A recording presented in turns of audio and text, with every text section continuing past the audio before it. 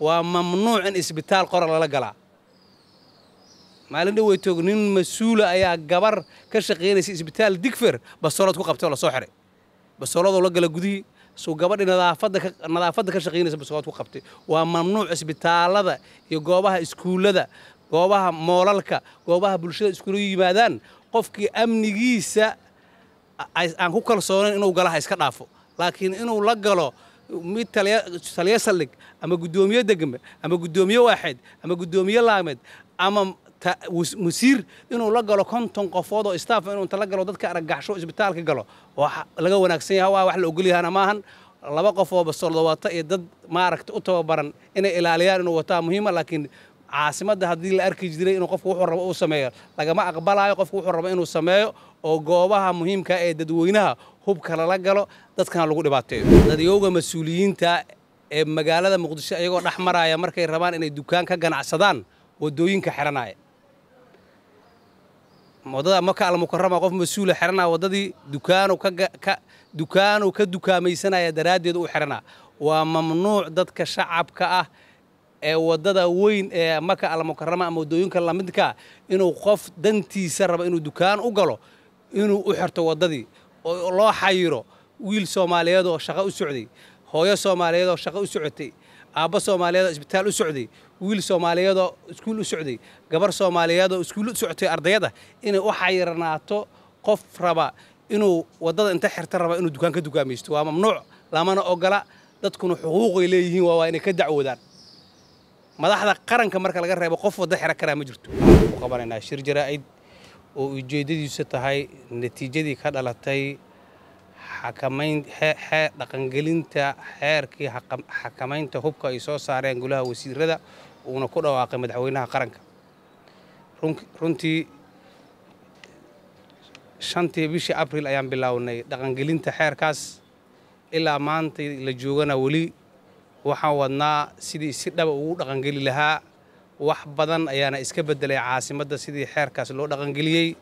Sidaa la socotaan waxaan inla wadaagnay toddoba iyo labaatan qoray oo ka mid ah oo aka sevene iyo qoray faal ah oo lagu soo qabtay xakamaynta hubka oo si sharci darra ah loogu watay gudaha caasimadda ayna wateen dadaan ka tirsanayn ciidamada ammaanka.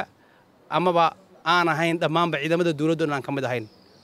Sidaa la socotaa waxaa kaloo la soo qabtay baabuur uu lagu buufiyey astaantii ciidanka xoogga dalka soomaaliyeed iyo tuutihiiba ciidanka xoogga dalka soomaaliyeedna aysan lahayn oo ay wateen dad shacaba. Sidaa la socotaan haddii la dhaqangeliyo sharci kasta oo la soo saaro waxaa la gaarayaa dowladnimo waxaa la gaarayaa amni waxaa la gaarayaa kala dambayn sidii loo bilaabay dhaqangelinta sharcigaas waxaa si wanaagsan oo runtii la taaban karo ummadda soomaaliyeed oo dhan ay ka markhaati kacday amniga caasimadda ayaa soo wanaagsanaanayey waxaa yaraaday khawaarijta dhibaatadii ay ku geysan jireen shacabka waxaa yaraaday dadkii shacabka ahaa ee sida maalinlaha caasimadda loogu dhibaataynayey ee maalinba qof baa la dila lahaa ee aad maqlaydeen oo maalin kasta ay warbaahintu tabinaysay waxaa sidoo kale yaraaday oo aan dhihi karnaa waaba suuli rabaan burcaddii gaangiska ahayd oo dadka dilaysay oo qoryaha wadatay oo qoraga iyo bastooladaba watay oo dadka dhacaysay. Waxaa ayagana yaraaday oo dagaal adag lagu qaaday iyadoo looga faa'iidaysanaya xakamayntan hubkan. Dadyowgii ka ganacsanayay maandooriyaha oo ahaa dad hubaysan oo qoryo wata oo hours ayagoo hubaysan oo si sharci darraa wata isticmaalaya maandooriyaha kala gudbinaya caasimadda waxaana rajaynaynaa inaan xakamaynta hubkaas sii wadno halkaas uu maraya inaan ka sii wanaajinno oon sii wadno. Sida ay tahana inaan u dhaqangelinno insha allahu tacaalaana waxaan rajaynaynaa inay caasimadda noqoto meel ammaana. Haddii ay shacabka soomaaliyeedna nagala shaqeeyaan cid walba oo hub sharci darro ah ama ka ganacsanaysa ama wadata ama dadka ku dhibaysa inay nala soo wadaagaan. Intaas kadib fariinteennan labaad waxay tahay inaan gaarsiino. Weli waxaa jira degmooyinka aafaha magaalada sida dharkeynley hilwaa dayniile in dadyow ka mida ay wataan hubkii oo weli aysan dhigin. Haddii gudahan caasimadda keliya la kormeeri jiray oo hubka laga dhigi jiray ha ogaadaano meel kasta oo ka mid a caasimadda ama daafa ahaato ama guda ha ahaato looma ogola in qof qoro wato oon ka tirsanayn shantii ciidan een hore u soo sheegnay ee ciidanka booliiska soomaaliyeed ciidanka xoogga dalka soomaaliyeed ciidanka hay'adda sidoonka nabad sugidda qaranka ciidamada asluubta iyo ciidanka dowladda hoose aan ka tirsanayn ee magaaladaas qora ku wata oo la qabto sharcigaa la horgeynaa qoragiisina sida dadka loogala soo wareego oo kalea loogala wareegaa. Intaas waxaa dheer dad mas'uuliyiina oo istaaf ay u yihiin ciidamada aan soo sheegna dadaan ka tirsanayn oo shibila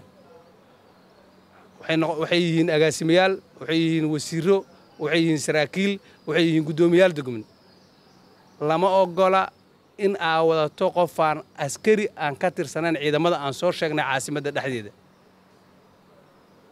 Lama ogola in askari qof maleeshiyaada inta tuuto loo gelsho dowladeed in shacabka soomaaliyeed lagu dhex daayo waa mamnuuc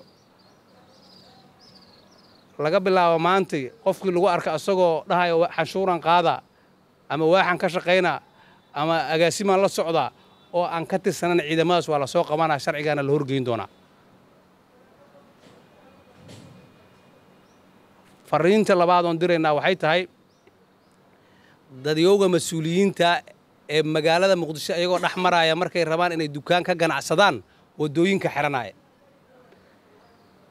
waddada maka almukarama qof mas'uula xidhanaa waddadii dukaanu ka dukaamaysanaya daraaddeed u xidhanaa waa mamnuuc dadka shacabka ah ee waddada weyn ee maka almukarama ama waddooyinka lamidkaa inuu qof dantiisa rabo inuu dukaan u galo inuu u xirto waddadii oo loo xayiro wiil soomaaliyeed oo shaqo u socday hooyo soomaaliyeed oo shaqo u socotay aabbo soomaaliyeed oo isbitaal u socday wiil soomaaliyeed oo iskuul u socday gabar soomaaliyeed oo iskuul u socotay ardayada inay u xayirnaato qof raba inuu waddada inta xirta raba inuu dukaan ka dukaamaysto waa mamnuuc lamana ogola dadkuna xuquuqay leeyihiin waa waa inay ka dacwoodaan madaxda qaranka marka laga reebo qof wadda xiro karaa ma jirto.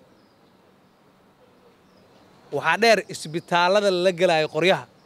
Waa mamnuuc in isbitaal qora lala galaa maalin dhaweytoog nin mas'uula ayaa gabar ka shaqaynaysa isbitaal digfer bastoolad ku qabtay oo la soo xiray bastooladoo la gala gudihii suu gabadhii nadaafadda ka shaqaynaysa bastoolad ku qabtay. Waa mamnuuc isbitaallada iyo goobaha iskuullada goobaha moolalka goobaha bulshada iskula yimaadaan. Qofkii amnigiisa aan ku kalsoonayn inuu galaha iska dhaafo.